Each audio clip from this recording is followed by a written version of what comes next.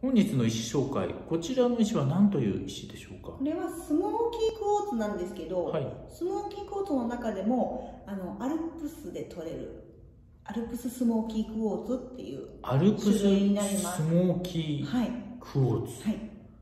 黒い水晶あそうですね、ええっと、く黒いんですけど黒水晶ではなく煙水晶煙水晶、はい名前が日本語名ついてますね。あの黒っていうか茶色っていうかね。はい。でこの茶色は自然界にある放射放射線はい。で色がつくんですよ。ほー。その放射線量が高ければ高いほど黒いものができてはい。っていうその放射線量によってそのうん色の濃淡っていうんですかね。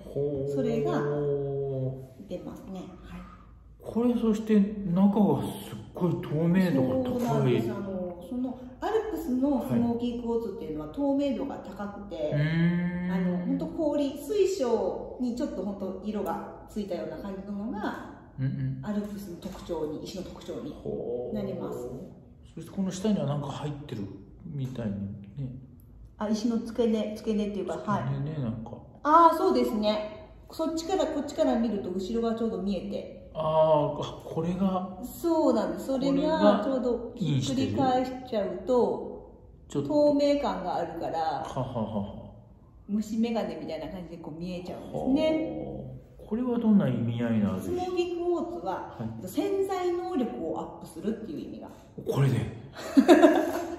あります。ほ潜在能力をアップする。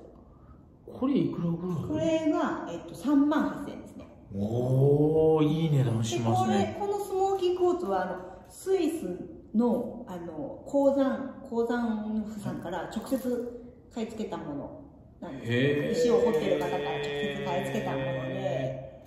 でもなんか思い入れがある。